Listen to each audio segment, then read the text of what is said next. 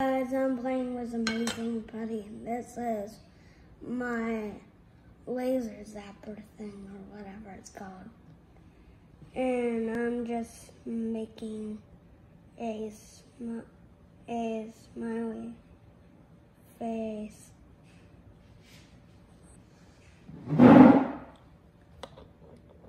There we go.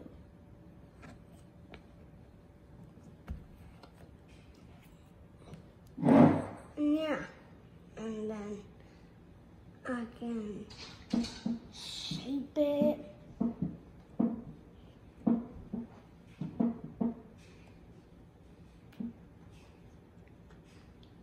And then make different things like